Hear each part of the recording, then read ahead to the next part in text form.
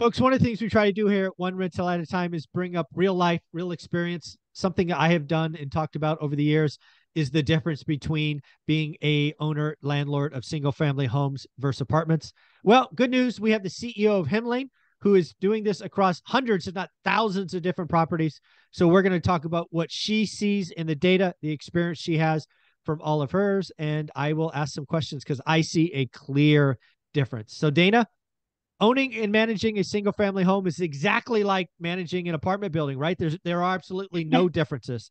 No, there's definitely differences. So we manage over 20,000 rentals and damn, 20,000. Woo. Yeah, it's almost split 50-50 um on um of course the apartments right it's a, a smaller portion because it's the um twos fours tens 20s um, but with it, there's a lot of differences. Um, the first one I actually want to talk about, which is a slightly more difficult emotional one, is actually neighborhood drama mm. because you're in closer corridors. So, like, we can talk about maintenance next, maintenance and repairs, but we see a lot of the complaints of noise violations, not getting along with neighbors, neighbors leaving things outside of their doors um you know they left something in the laundry room whatever it may they're, be they're cooking smelly food yes there we get that we get you know they're smoking weed all of this kind of stuff that just goes into having um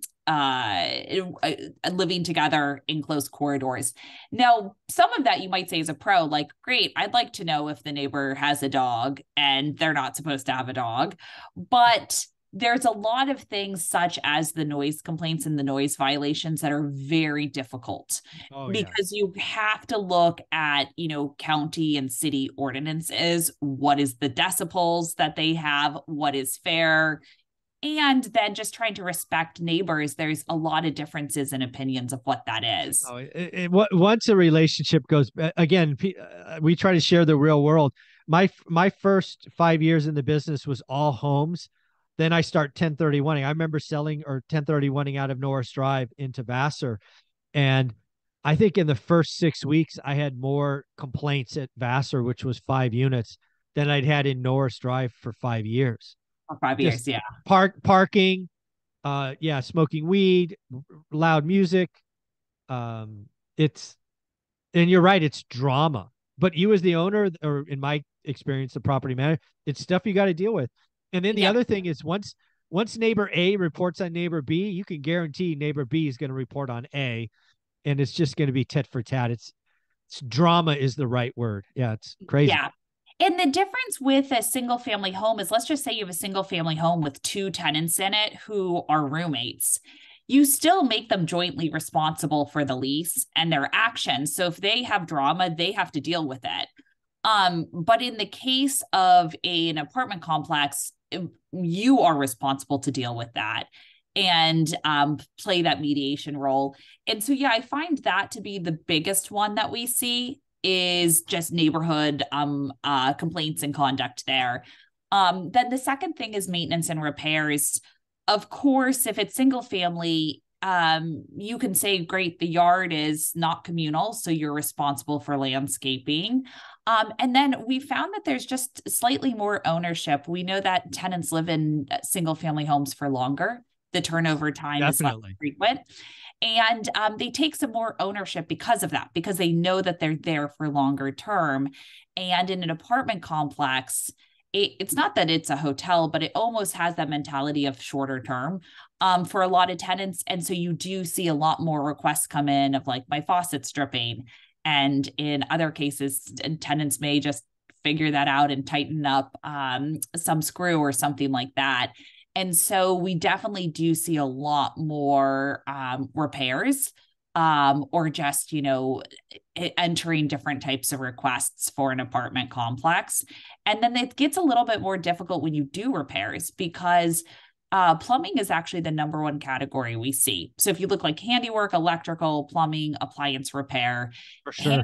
plumbing is number one, and it's also the one that it causes um, so much damage. It can cause so much damage. oh yeah, You want to get a small plumbing problem. You don't want to let that slide. Yeah, because then you have big. mold, water, you know, all of that. And so a lot of times there will be things like, hey, I'm there's a leak. And if it's a single family home and there's a leak downstairs, your first question is like, great, do you have a bathroom upstairs? You know, does it just need more caulking and that's the the problem or you know, trying to troubleshoot and you troubleshoot with the person there suddenly when it's an apartment complex it's the person upstairs you have to get their availability the person downstairs all of that and so on the repair side yeah there's a bit more involved in it and that's why actually if we do the repair coordination on a multifamily we require all the units to be in our repair coordination because it's too hard and we don't have the authorization to get upstairs if yep. not yeah there's just so many more things that go on and again right so not neighborhood drama apartment drama, repair request uh, coordinate. It's just all a much heavier lift. Uh, and but most importantly, the other thing you said there that I want to echo is average tenure. Right, it, it's not even close. I last time I did the math, it's been a while. Single family homes were almost eight years in my portfolio, where apartments are, I think, barely over two years two years yeah, yeah and so that's huge because if you think about your cash flow let's just say the average rental in the us i think is around uh 1650 and that's apartment and um, single family. So if you think about it, if it's two year, if we just do the math quickly, and you have one month of vacancy there, what you have to think about is it's 1650 the turnover is four times more if it's two years versus eight years. So now, if you're, I'm going to do some quick math here the 1650 times um, four. So you have 6,600 in cash flow. And then if you times that times um, two, because you have leasing fees and some turnover sure. fee, then sure. you're at 13,200 additional in cash flow just from vacancy alone and reducing that. And so I, the numbers are real. Yeah, the numbers are real. Yeah, what I would tell folks there's the there, there it's really funny. Um, there's this nomenclature that bigger is better. And what I've again because I own some of this stuff, right? Bigger is better sometimes. I think over the last couple of years, and right before I we speak together every week, I talked to Jonathan Twombly, and the three conversations we had today was uh, there's a trillion dollar overhang in bad debt in commercial real estate. Ivy Zelman's telling us that there's an overhang of uh, units, and why was there a lot of pain? There's a lot of pain coming to multifamily because people uh, had horrible assumptions, short term debt, variable rate debt, frankly, they're repeating the mistakes. So bigger is better sometimes. I don't think apartments have been better for the last couple of years. Once this pain ripples through, there are going to be some amazing deals and I'll buy it again. But it doesn't matter what Grant Cardone says. Bigger is not always better. And for most yeah. landlords watching my channel, there's nothing wrong with single families. There's yeah. nothing wrong with single families. So, what do you think? Yeah. No, I totally I couldn't agree more, especially from what we're seeing. Um, I think single family is just a fantastic investment. And also, if you look at just trends overall with um, where tenants are living and not needing to be in the city for work, you know um, five um, five days of the week needing more space because now you think of a home office as your office. There's just a lot of also just trends from that perspective. Self-driving cars where you can get more easily to different places. You don't need to be right downtown right. Um, in an apartment complex right where all the restaurants are um, and and that will even change over time much more especially as self-driving cars become more prominent at the end of the day, if, if you were if I was looking at buying a 10 unit building versus five single family homes just to kind of keep the numbers roughly equal, uh, in today's market, I'd be looking for five single family homes. Maybe in two years when pain ripples through, people get busted out, the 10 unit will be a better deal. But bigger has not been better for two years. The headache factor is up, the returns are worse. It's just it's a sexy slogan that's just not true today. Dana, if somebody wanted to get a hold of Hemlane and do the 30 day trial, which all of you should, you should practice being a landlord. Where should they get it?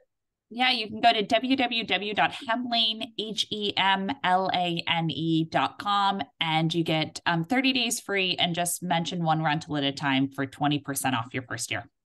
Very cool. Thank you so much, Dana. Thanks for having me.